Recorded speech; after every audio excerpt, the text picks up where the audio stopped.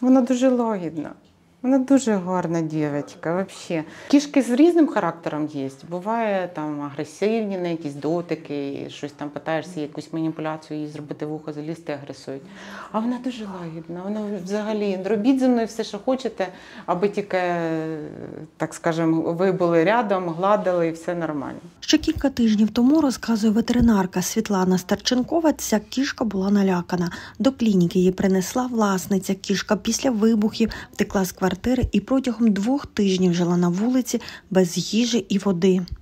Бабуся принесла і сказала, що вона збісилася і її дуже поцарапала, і вона нічого з нею зробити не може. Вона вже тиждень не їсть, не п'є, нічого не цей, то їй треба срочно приспати. Ми взяли її на обстеження, подивилися. Да, в неї була повна прата координації, розширені зіниці.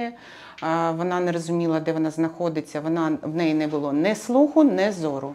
У кішки виявили контузію, і розпочали лікування. На другий день тварина почала їсти та реагувати на голоси. Потім відновився зір. Забрати її додому власниця відмовилась, тому кішку лишили у клініці. Ми назвали її Матільда і як ще Сімба. У нас два ім'я.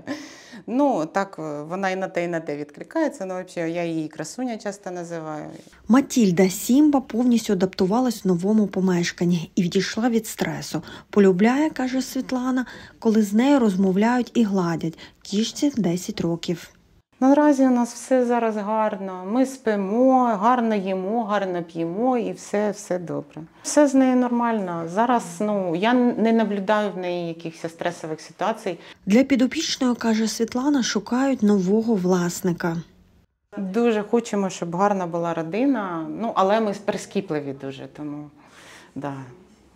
ми таке, щоб, е, ну, щоб стресів не було, тому що ми не знаємо, як вона буде реагувати на там, інших тварин. Тому дуже б хотілося, щоб люди розуміли, що таке персидська кошка. Ольга Ляшенко, Владислав Купрієв, Ігор Печенко, Суспільне новини, Херсон.